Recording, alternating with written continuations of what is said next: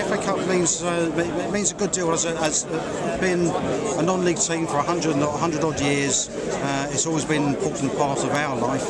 When you're supporting one of the little teams, you know you're never going to win it, but the, the old joy of it is getting in there, having a go, and having a good day out against one of the Premiership teams. Bristol City, we do what we want. Talking of doing what you want, do you think you'll uh, win today? Um, it's going to be it's going to be tough, but I think we'll win 2 1.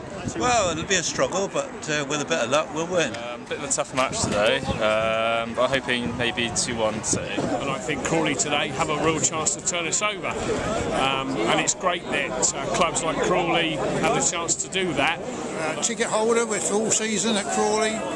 Marvellous game, fantastic game. I think we played the best we played all season. This is what the Cup's all about, taking on a team that's over and above where you normally are and just producing a performance like that, totally dominating at the end of the day. Absolutely sensational, to be honest. It's just amazing for the club. The whole town comes out to support and uh, over the next two or three days, the whole the whole place will be buzzing. Great, great game. Now biting. Looking around fourth fourth round. It's going to be, uh, going to be a good won. Best team won. Best team one, I think. They Crawley thoroughly uh, enjoyed themselves, and even more, they uh, deserve the victory. Well done, Crawley, and good luck in the cup.